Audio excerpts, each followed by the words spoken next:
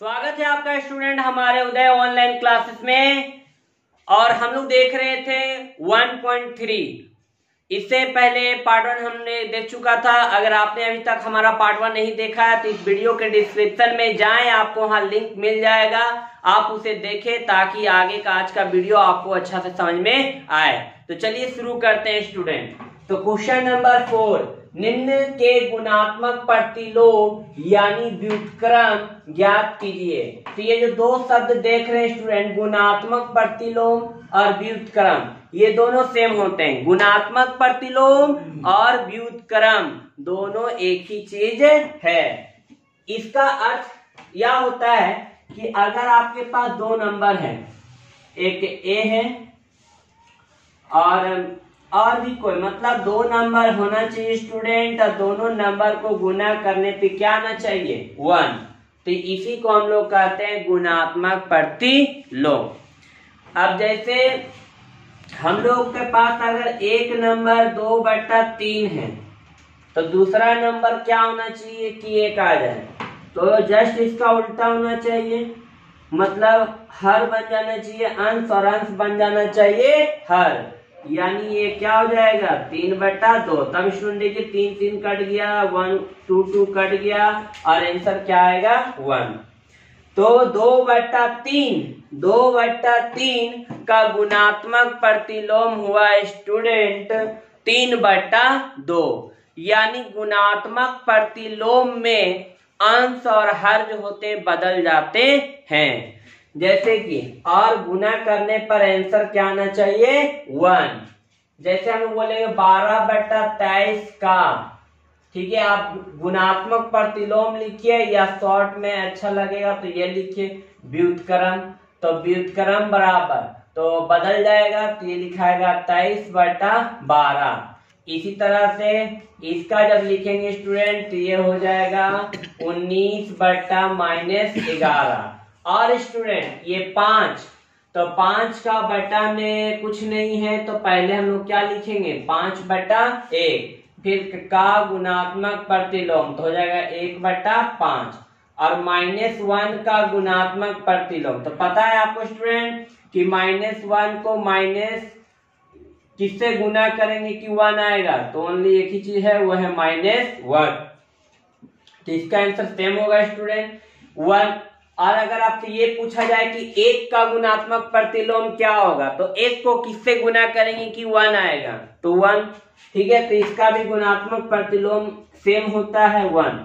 तो एक और माइनस एक। ऑब्जेक्टिव में पूछा जाता है स्टूडेंट कि कौन सी वो संख्याएँ हैं जिसका गुणात्मक प्रतिलोम स्वयं के बराबर होता है। तो वह है एक और माइनस एक। क्योंकि एक को एक से गुना करेंगे तभी एक आएगा। और माइनस एक को माइनस एक से गुना करेंगे तभी एक आएगा। तो एक और माइनस एक क्या? स्वयं का गुणात्मक मतलब सेम होता है। गुणात्मक प्रतिलोम या व्युत्क्रम इसी तरह से इसका गुणात्मक प्रतिलोम, आप हमारे कमेंट बॉक्स में लिख के दिखाएँ कि क्या होगा। तो आते हैं स्टूडेंट नेक्स्ट क्वेश्चन पे। निम्नलिखित को सत्यापित कीजिए। सत्यापित यानी प्रूफ कीजिए कि ये एलएचएस और आरएचएस दोनों का मान जब सॉल्व करेंगे तो क्या आना चाहिए? इक्वल तो इसी को कहते हैं सत्यापित। अगर आएगा तो लिखेंगे सत्यापित है, बराबर आने पे और बराबर नहीं आया तो लिखेंगे सत्यापित नहीं है। तो आइए स्टूडेंट हम लोग डील करते हैं क्वेश्चन नंबर बी तो क्वेश्चन नंबर बी जब हम लोग हल करेंगे तो हम लोग पहले लिखेंगे LHS तो LHS आपको पता है स्टूडेंट इसको हम लोग कहते हैं। तो LHS हमारा है चार बट्टा पाँच गुना अंडर ब्रैकेट, आठ बट्टा तेरह माइनस पाँच बट्टा तेरह। और इसी तरह से इधर आपको मिलेगा एस स्टूडेंट जो है चार बट्टा पाँच गुना आठ बट्टा तेरह माइनस चार बट्टा पाँच गुना पाँच बट्टा तेरह। अब इसको हम सॉल्व करेंगे तो चार बट्टा पाँच, तेरह तेरह तो एलसीएम भी आएगा स्टूडेंट तेरह, और ये हो गया ऊपर सेम उतरेगा, आठ माइनस पाँच तो चार बट्टा पाँच घटेगा स्टूडेंट तो तीन बट्टा तेरह। क्या ऊपर और नीचे कुछ कट रहा है स्टूडेंट नहीं कट रहा है।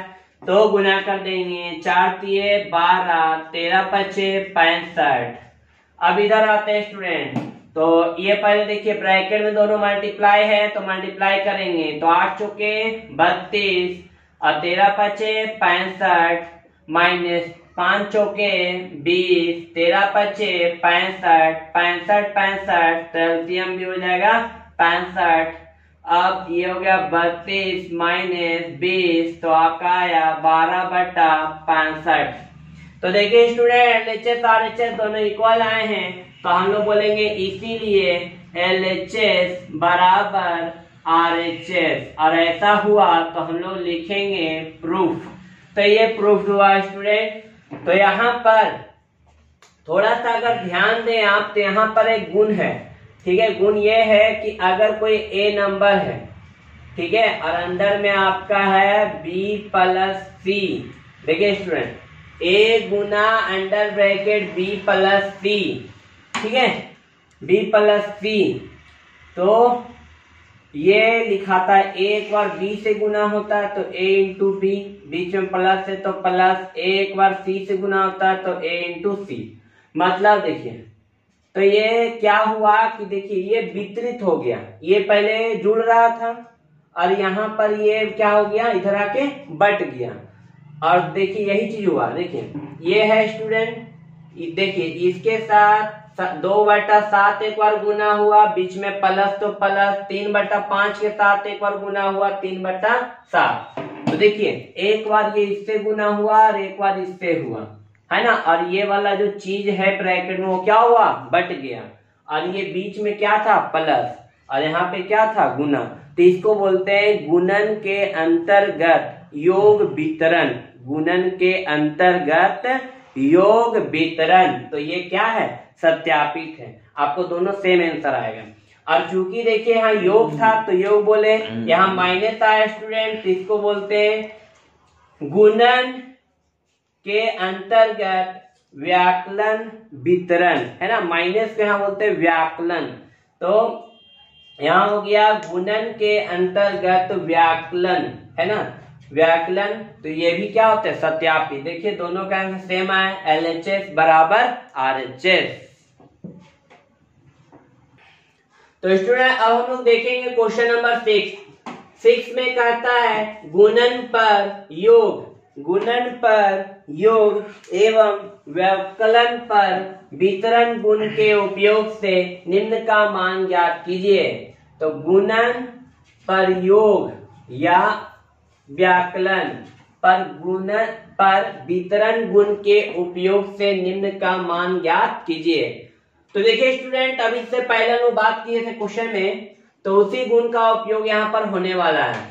तो आपका क्वेश्चन है माइनस तीन बटा सात गुना पाँच बटा बारह प्लस ग्यारह बटा बारह गुना माइनस तीन बटा सात। इन दोनों में, ये और ये जो दोनों गुना में है इन दोनों का गुना में आप देखिए कि माइनस तीन बटा सात, माइनस तीन बटा सात।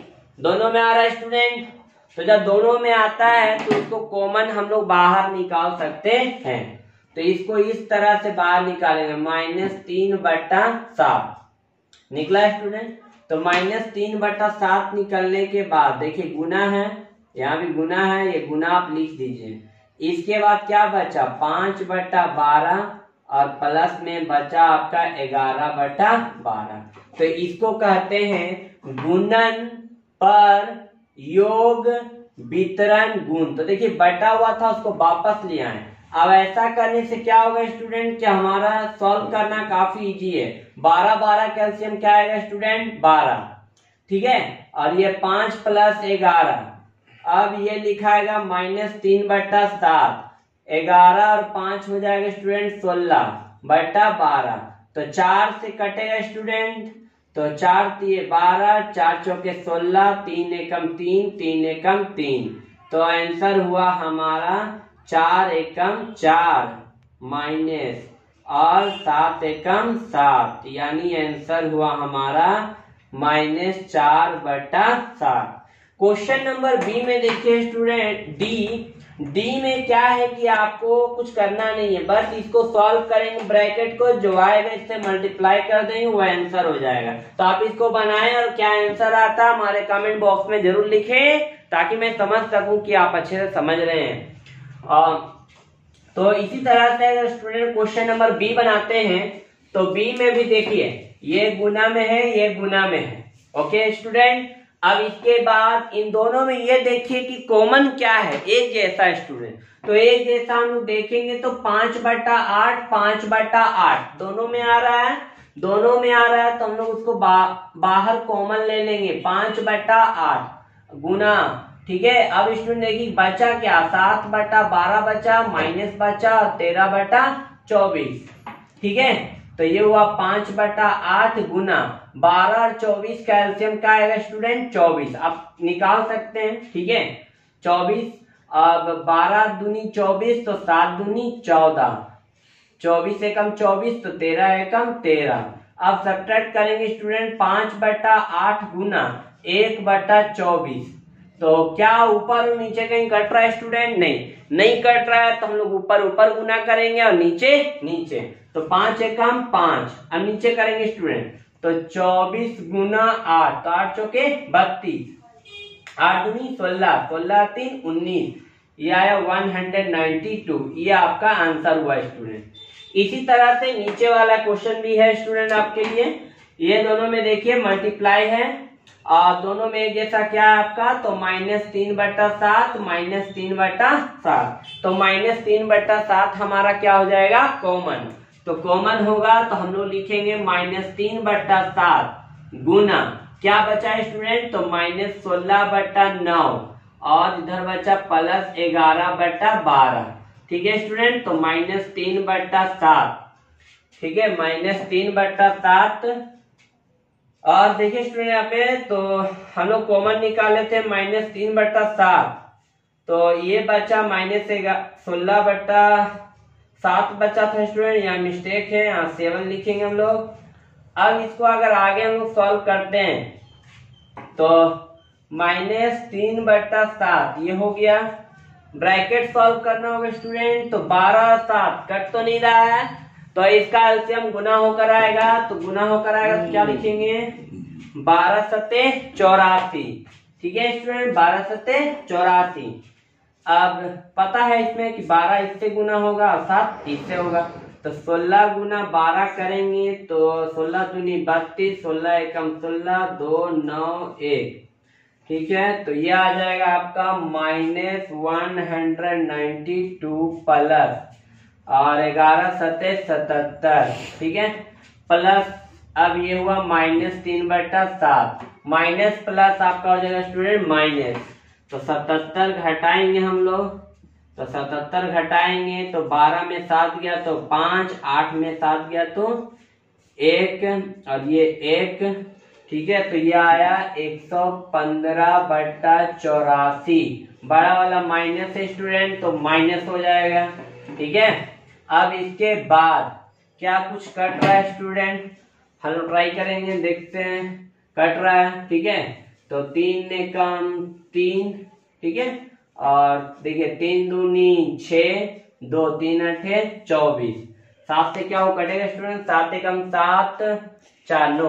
अब नहीं कट रहा है स्टूडेंट तो हम गुना कर देंगे। तो माइनस गुना माइनस प्लस एक सौ पंद्रह आ जाएगा स्टूडेंट ठीक है, नीचे मल्टीप्लाई करेंगे तो आठ सत्य छप्पन। ठीक है सात दूनी चौदह चौदह और पाँच, उन्नीस। ये आंसर हुआ स्टूडेंट और देखेंगे student question number seven seven में कहा था, प्रत्येक के लिए गुणन के अंतर्गत। प्रत्येक के लिए गुणन के अंतर्गत उपयोग किए गए गुणधर्मों का नाम लिखिए। तो देखिए स्टूडेंट पहला क्वेश्चन था माइनस ग्यारह बटा चौदह गुना माइनस तीन बटा पाँच। बराबर माइनस तीन बट्टा पाँच गुना माइनस ग्यारह बट्टा चौदह।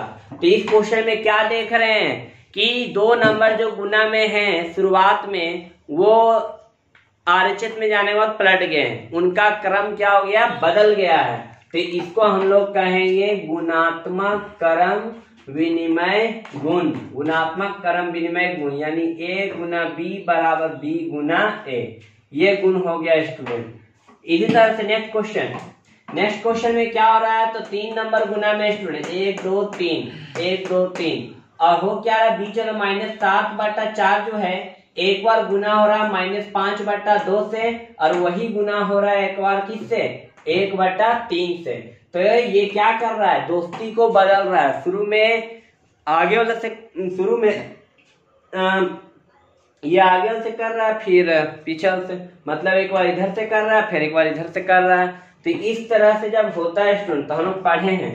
मतलब अगर तीन नंबर गुना में ए गुना बी गुना सी ए गुना बी गुना बी गुना सी बी एक बार पहले गुना हुआ ए से और उसके बाद गुना हो रहा है किस से सी से।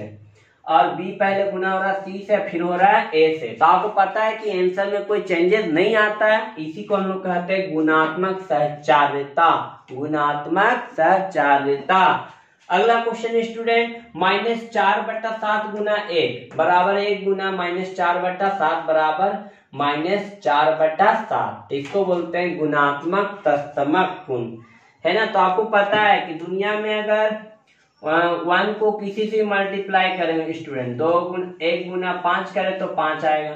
तो ये जो वन है, किसी के साथ गुना होने पे कोई फ़र्क नहीं लाता, वो वही सेम आंसर देता है। तो इस तरह के गुण को हम लोग कहते हैं, एक का जो ये गुण है, इसी को कहते हैं गुणात्मक तत्समक क्या कहेंगे स्टूडेंट गुणात्मक तत्समक अगला क्वेश्चन है, देखिए स्टूडेंट में कुछ नहीं हुआ माइनस नौ बटा सोलह। तो इसका हम व्युतक्रम या गुणात्मक प्रतिलोम क्या होता है? सोलह बटा माइनस नौ।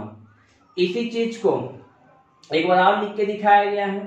आप इसको ऐसे लिखे या ऐसे लिखे दोनों के आंसर क्या रहा वन। और जब दो नंबर का गुणनफल वन आता है तो इसी गुण को हम लोग क्या कहते हैं? गुणात्मक प्रतिलोम। और ये देखिए स्टूडेंट यहाँ पे आपका सहचारिता सहचारिता गुण है। तीन नंबर गुना में है। पाँच बटा छह, एक बार इधर से गुना हो रहा है, एक बार इधर से हो रहा है, एक बार दो से। तो ये हो गया गुणात्मक सहचारिता। आज ज़ीरो का ये गुण है स्टूडेंट की ज़ीरो को हम लोग कोई भी नंबर से गुना कर दे, दुनिया का कोई भी नंबर से गुना कर दे, वो ज़ीरो देता है। तो ज़ीरो के इसी गुणधर्म को हम लोग कहते हैं शून्य का गुणात्मक गुण।